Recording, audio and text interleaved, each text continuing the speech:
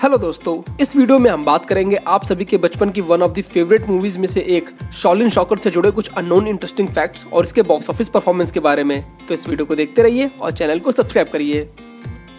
अगर आप भी एक फुटबॉल लवर हैं और आपने भी इस मूवी को देखकर कभी न कभी एक बार फुटबॉल खेलने की इच्छा ना आई हो तो ऐसा होना इम्पॉसिबल सा लगता है। क्योंकि इस फ़िल्म में हमें गेमिंग के साथ साथ कुंफू का भी बेहतरीन कॉम्बिनेशन देखने को मिलता है, जो इस फ़िल्म को और भी इंटरेस्टिंग बनाती है। इस वीडियो में हम ये जानेंगे कि ये फ़िल्म ओरिजिनली कहाँ से इंस्पायर थी। फ़िल्म का नाम शॉलिन शॉकर होने से पहले क्या रखने का सोचा जा रहा था और इस फ़िल्म में रियल के किन फुटबॉल प्लेयर्स ने काम किया था। शॉलिन शॉकर ये हॉलीवुड की कॉमेडी एक्शन फ़िल्म थी और इस मूवी को रिलीज़ किया गया था 12 जुलाई 2001 को।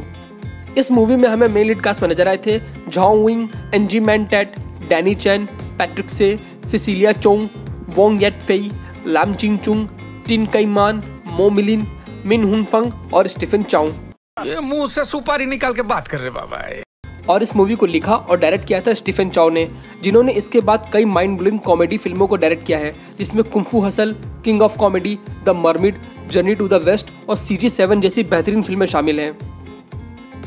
इस मूवी का बजट रखा गया था 10 मिलियन यूएस डॉलर और इसने बॉक्स ऑफ़िस पर 42 मिलियन यूएस डॉलर का बिज़नेस किया था और ये एक सुपरहिट फ़िल्म साबित हुई थी। लेकिन ये फ़िल्म 2001 में सबसे ज़्यादा पैसे कमाने वाली फ़िल्म की रेस में काफ़ी पीछे रह गई थी। 2001 में सबसे ज़्यादा पैसे कमाने वाली टॉप फोर फ़िल्में थी Harry Potter and the philosopher's stones the lord of the ring monster inc और द शर्क बेसिकली ये एक साउथ एशियन मूवी थी और एशियन मूवीज़ यूरोपियन मूवीज़ के कंपैरिजन में कम बजट की होती हैं और कम कलेक्शन कर पाती हैं।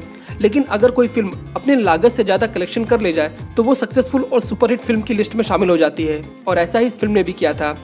और अगर इस फ़िल्म के कलेक्शन को इसके बजट से कंपेयर किया जाए तो ये अपने आप में ही एक बड़ी अचीवमेंट है।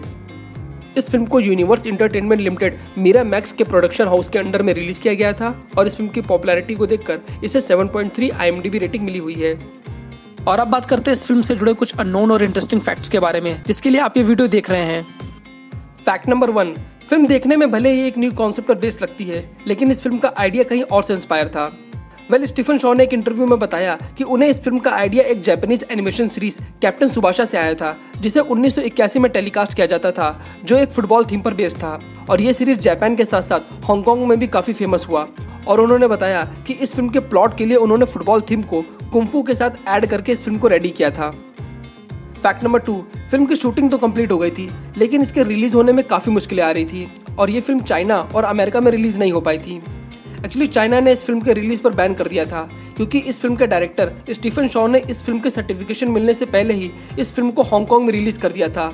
और इस बात से नाराज़ होकर चाइनीज़ गवर्नमेंट ने इस फ़िल्म के थिएटर रिलीज़ डीवीडी और वीसीडी सभी पर बैन लगा दिया था।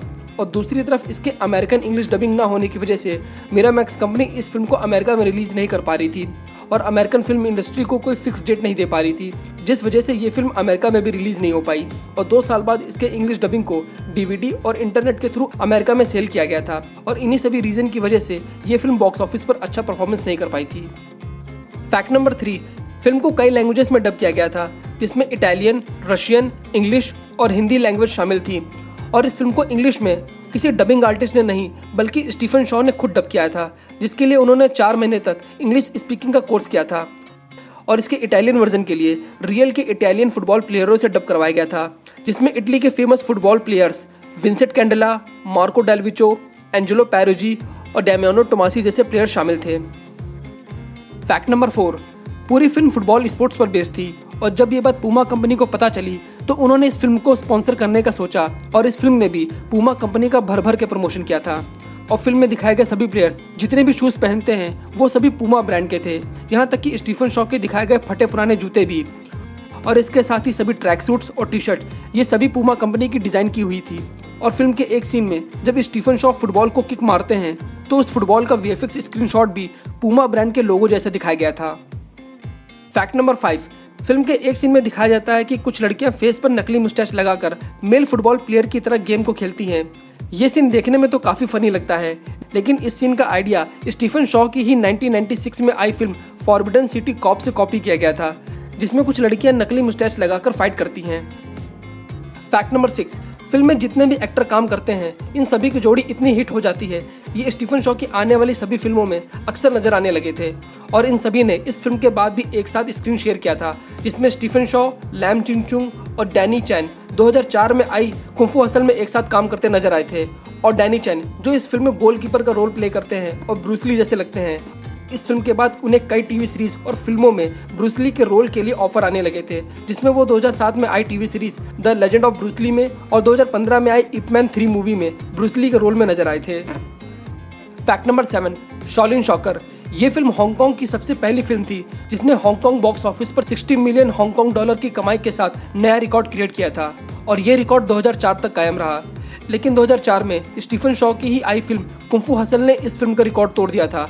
जिसने 70 मिलियन हांगकांग डॉलर का कलेक्शन करके new box office record create किया था। फैक्ट नंबर एट फ़िल्म का नाम शॉलिन शॉकर होता है, लेकिन मीरा मैक्स प्रोडक्शन कंपनी इस फ़िल्म का नाम चेंज करके कुछ और करने वाली थी। एक्चुअली जब इस फ़िल्म की इंग्लिश डबिंग की जा रही थी तो डबिंग स्क्रिप्ट में इस फ़िल्म का नाम बदलकर कुंफू सॉकर रखा गया था और स्टीफन शॉ को इसी नाम को फ़िल्म में डब करने के लिए फोर्स करने लगे थे। लेकिन स्टीफन शॉ ने इसके लिए मना कर दिया था और वो अपनी फ़िल्म के साथ कोई भी छेड़खानी नहीं करना चाह रहे थे। और बाद में इसका नाम शॉलिन शॉकर ही रखा गया था। फैक्ट नंबर नाइन बात की जाए फ़िल्म के वी की तो फ़िल्म का वीएफएक्स काफ़ी बेहतरीन था और इसके वीएफएक्स में ही फ़िल्म के बजट का 50 परसेंट अमाउंट लग गया था, जिसमें फुटबॉल की वी सीन और कई सिमुलेशन सीन शामिल थे। और इसके साथ ही फ़िल्म में दिखाए गए कई bullet time short scene means freeze before action वाले जैसे सभी सीन्स को दो मोशन कैमरा से शूट किया गया था, जो उस टाइम की टेक्नोलॉजी के हिसाब से एकदम नई थी। और इस टाइप का एक्शन हमें सिर्फ़ उन्नीस सौ निन्यानवे में आई द मैट्रिक्स मूवी में देखने को मिला था। आपको ये फ़िल्म कैसी लगी थी? और आपको इस फ़िल्म का कौन सा इंटरेस्टिंग फैक्ट पसंद आया? प्लीज़ हमसे कमेंट में ज़रूर शेयर करें। और अगर इस फ़िल्म को लेकर मैं कोई अपना पर्सनल और डेंजरस एक्सपीरियंस शेयर करूँ तो इस फ़िल्म को देखने के बाद मैंने फुटबॉल खरीदा था। और उसे इतनी ज़ोर से पहली किक मारी थी कि सामने वाले अंकल की कार का शीशा टूट गया था। और अगर आपका भी कोई पर्सनल एक्सपीरियंस हो तो कमेंट सेक्शन में हमसे शेयर कर सकते हैं। तो इस वीडियो को लाइक करिए और चैनल को सब्सक्राइब करिए, ताकि हम आपके लिए आगे कुछ इसी तरह मूवीज़ के इंटरेस्टिंग फैक्ट्स लाते रहें। Thank you